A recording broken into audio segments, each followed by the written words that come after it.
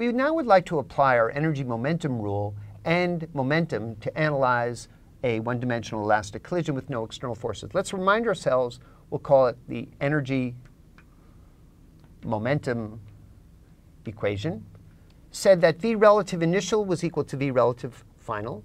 So we have V1 x initial minus V2 x initial. That's the initial relative, the x component of initial relative velocity is equal to the final x component of the relative velocity. And that was our energy momentum law. Now the momentum condition, that it's constant, was our equation v1 x initial plus m2 v2x initial equals m1 v1 x final plus m2 v2 x final. Now, let's see how this linear system is much, much easier to solve. Let's look at the same problem that we solved before, where m2 was equal to 2m1. And also, we were in the laboratory frame, so v2x initial is 0. And that tells us that the initial velocity, relative velocity, is simply the velocity of object 1. So let's just write our two equations down again and see how much simpler our system is. V1x initial is minus v1x final plus v2x final. So we have minus plus. And our momentum condition, remember v2x initial is 0. The m1, m1, m2 will be 2m1. So we can cancel our m1s. And we get v1 x initial equals v1 x final. And m2 is twice m1, so there's a factor plus 2 v2 x final.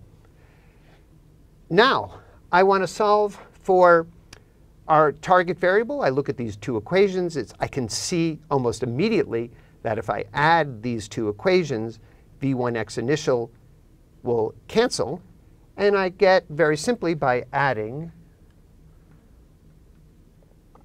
we get 2 v1 x initial. And this is 3 v2 x final.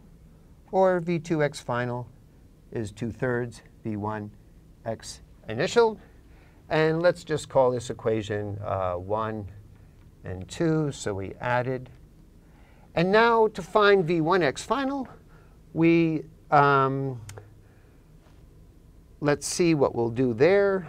Um, so we can do this a variety of different ways. Um,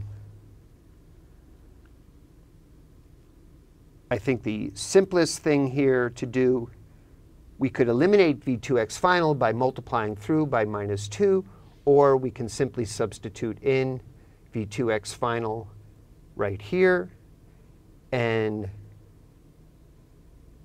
we get, so let's do that. Let's substitute that in right there. And we get v1 x initial equals v1 x final plus 2 times 2 thirds v1 x initial. When we bring that over to the other side, 1 minus 4 thirds is minus 1 third v1 x initial equals v1 x final. And at the cost of introducing a new concept, we found the algebra much, much simpler to solve in this problem. And we can just double check our result that the initial velocity, relative velocity, was simply vx1. And the final relative velocity, v relative final, is minus v1x final minus, let's see, the v final relative velocity is v1x final, v2x final i hat. And when we put that in, we have minus 1 third v1 x initial minus 2 thirds v1 x initial i hat. And we have minus v1 x initial i hat, which is minus v relative initial. And so we see that the relative velocity simply changed direction. This approach is much, much easier, and keep in mind that the energy momentum and the momentum laws are the, just rewriting our two fundamental constants of motion, kinetic energy and momentum.